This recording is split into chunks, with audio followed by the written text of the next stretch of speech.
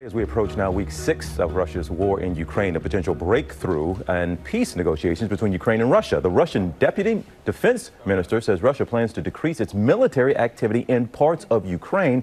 This reduction is, he says, to increase mutual trust for future negotiations toward a peace deal. Joining us now is Congressman Darrell Issa, who is a member of the House Foreign Affairs Committee as well as the House Judiciary Committee. Congressman, thanks for being with us. And given the uh, recent statements from the Russian Defense Ministry, where do things stand right now with this conflict? Well, I think for President Zelensky, you've really got to remember that Reagan axiom trust but verify. The Russians have previously made similar announcements, and each time it's been untrue. Uh, so whether they're reducing in one area to increase in another, uh, or they're genuinely at a point of having some meaningful negotiations remains to be seen.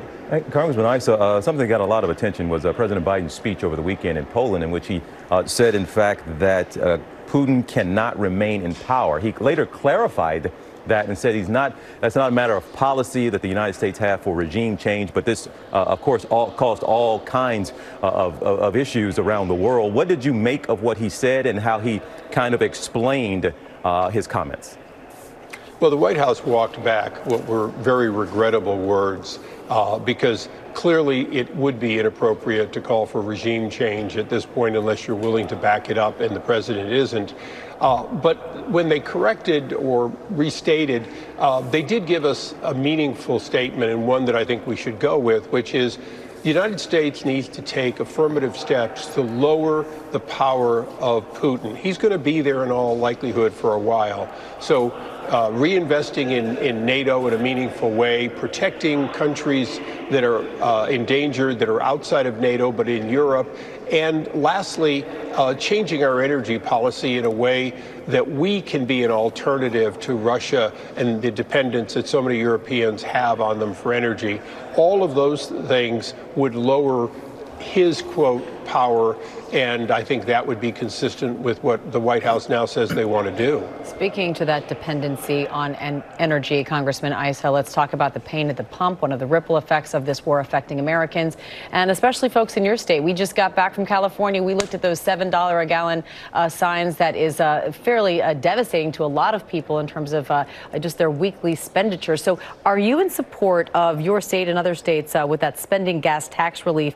Could propose $11 billion worth of relief. Uh, do you think that is the way forward? Is that is that the action we need to be taking?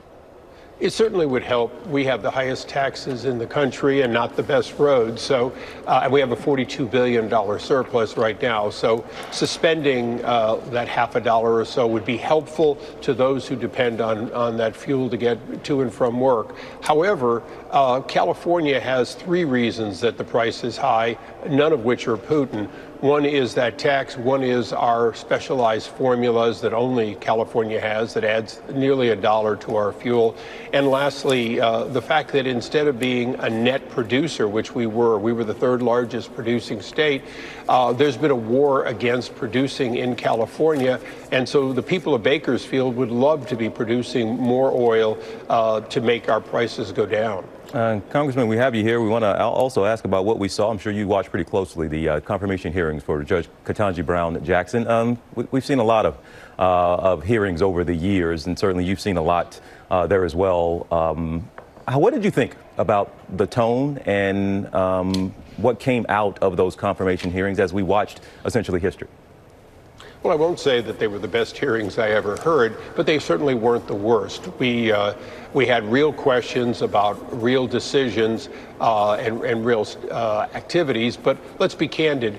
Uh, we knew from the start that she was going to be confirmed. There were a number of people who had previously voted for her with the same record that was being questioned.